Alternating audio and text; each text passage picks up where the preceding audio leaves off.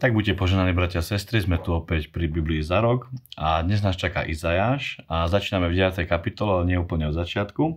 Začíname v 13. verši. A Izajáš ako sam, samo o sebe je prorok, ako viete, už aj určite pred mnou spomínali. A samotná kniha Izajáša je veľmi obsiahla a komplikovaná a nemôžeme určite prebrať úplne kompletne za tento krátky čas všetko, tak vybral som aspoň niektoré také zaujímavé momenty. A budeme sa dnes venovať 9. Eh, kapitole 13. od 13. verša. A hneď na začiatku je taký zaujímavý verší, keď je napísané, kedy Izajáš hovorí jedno veľmi dobré zjavenie. A to je, že starec a vážny človek sú tou hlavou a prorok, ktorý vyučuje lži, je chvostom. Teda Izajáš hovorí o tom, že človek, ktorý e, prorokuje zlé veci alebo neprorokuje veci od Boha, stáva sa chvostom, teda stáva sa prekliatím. A potom ďalej píše, že vodcovia tohto ľudu stali sa s vodcami a tí z neho, ktorí sú vedení, budú pohltení. Teda upozorí na to, aby neboli zlí vodcovia, aby aj potom, keď je zlý vodca, aj ľud je pohltený. Táto je 9. kapitola. Poďme rovno do 10. kapitoly. Táto kapitola uh, začína jedným varovaním pre zákonodarcov a ľudí, ktorí vlastne uh, tvoria zákony a písári, písatelia a hovorí, že uh, nerobte takéto podvody, nerobte zlé zákony, neťažte ľud, lebo nie je to dobré, nepáči sa to Bohu. A neskôr nasleduje vlastne prosto proti Asurovi a následne aj potešenie tých, ktorí ostávajú a nakoniec prorokuje Izajáš o tom, že Asura bude e, zničený.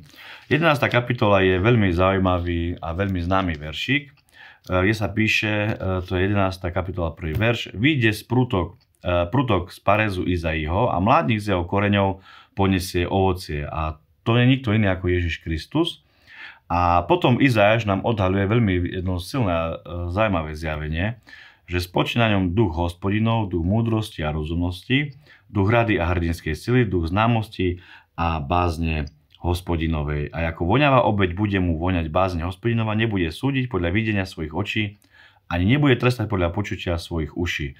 Teda Izajáš prorokuje o Ježišovi Kristovi a hovorí, že na ňom spočinie 7 duchov božích a tých 7 duchov božích je prvý, ktorý ho spomenie, ten je sám, to je ten základný, to je duch boží, to je ten uh, Jahve, JHVH a na ňom sú ďalšie pridružení, ďalší pridružení duchovia, než boli menej, ale tí sú postavení práve na duchu uh, hospodinovom, a je tu veľmi zaujímavé, čo prorokuje vlastne o Ježišovi, že bude na ňom duch mudrosti a rozumnosti. A keď sa pozrite na to, tak stále prorokuje, že e, dva, po dvoch duchoch, len jeden duch je samostatný, a to je ten duch hospodinov, ale duch múdrosti a rozumnosti, uh, tí sú najbližšie k Bohu, pretože múdrosť, aj keď Ježiš uh, slúžil, tak vidíme, že múdrosť bola na ňom, aj rozumnosť.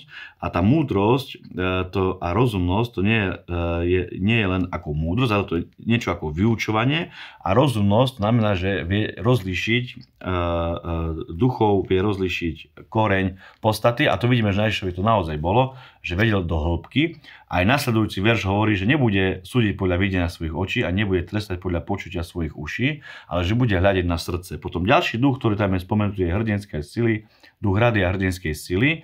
Teda zase vidíme, že na Ježišovi Kristovi je e, duch rady, to znamená, že vie dať radu, ale dá aj silu, aby sme vykonali to, čo nám poradí. A posledné je, že duch známosti a bázne hospodinovej.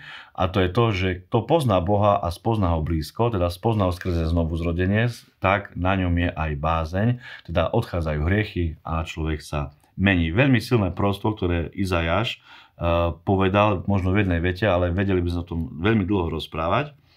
A keď sa pôjdeme ďalej pozrieť do 12. kapitoly. Tak v 12. kapitole je zase taká kratšia kapitola, kde ale veľmi krásna pieseň, tiež veľmi známe veršiky. Keď človek už dlhšie je v pánovi, tak určite sa stretol s týmito niektorými výrokmi, ako napríklad v 3. verši, že budeme, budete čerpať vodu s radosťou s prameňou spasenia. To je veľmi známy verš a veľmi pozbudzujúci, ktorý odporúčam, aby ste mohli ho vyznávať.